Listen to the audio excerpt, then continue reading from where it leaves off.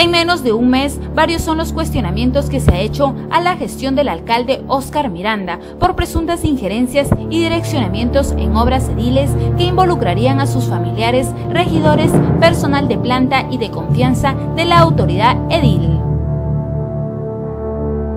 Que él haga un acto de construcción y se de toda esa, yo creo que va a vivir mejor. Yo creo que sí mano dura, se despercuda, porque hay muchas personas impuestas. yo, no me voy a enfermar, y siempre este eslogan lo digo, este dicho, o sea, la amistad no se confunde con el trabajo. Yo ya te ayudé. Si tú me haces quedar mal, pues más bien te quiero agarrar a golpes.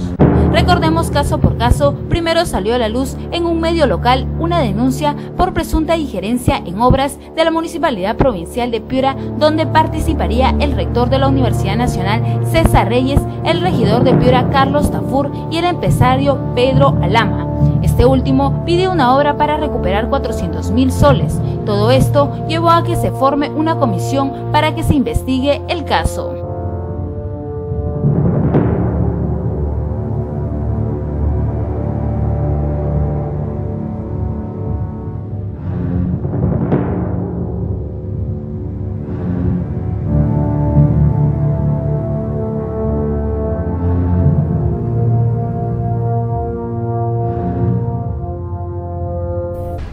Vino la presentación de unos audios por parte de los regidores de minoría, donde se escucharía a fiscalizadores haber supuestamente cobrado una coima de 500 soles a un empresario para no multarlo. Los tres fiscalizadores fueron separados del área y sancionados, además de iniciarse una denuncia penal en el Ministerio Público denunciado acá donde, la regidor, donde una regidora y la regidora me ha llamado a mí, pero él no ha dicho que son 500, sino que dice que nos ha dado 2 mil soles, nos ha dado 2 mil soles, nos ha dado 2 mil soles. El tercer caso en menos de un mes que volvió a poner en el ojo de la tormenta la gestión de la honestidad y el cambio fue la aceptación de una carta de fianza falsa que presentó un consorcio para adjudicarse la elaboración de un expediente por más de un millón de soles, por lo cual se le retiró la confianza a la jefa de logística, Cintia Amaya. Ya, No ha sido emitida por el banco, en su vigencia ha sido inspirada. Por favor, si de comunicarse.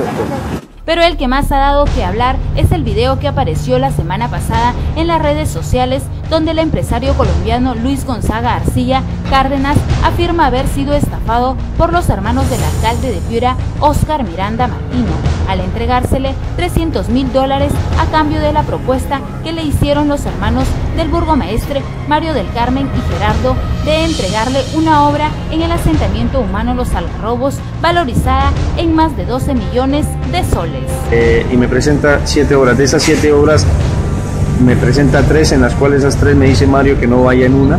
Me presenta dos. De esas dos cogimos, o cogí yo, una obra que era la Algarrobos, por valor de 12 millones 400 más o menos. Al ver nosotros eh, eh, el argumento de Mario, ¿no? La confiabilidad porque es hermano del alcalde y él nos argumenta que el señor alcalde lo sabe todo, absolutamente todo, pero que no se puede incluir en estos temas porque para eso lo delegó a él. Es más, que ellos nunca se aparecen en la municipalidad, en la municipalidad por evitar problemas, municipalidad de Piura, les delega a Mario y a Gerardo en estos temas. Ante esta situación, el regidor oficialista Rogelio Fernández pidió se conforme una comisión integrada solo por regidores de minoría para que se investigue el caso.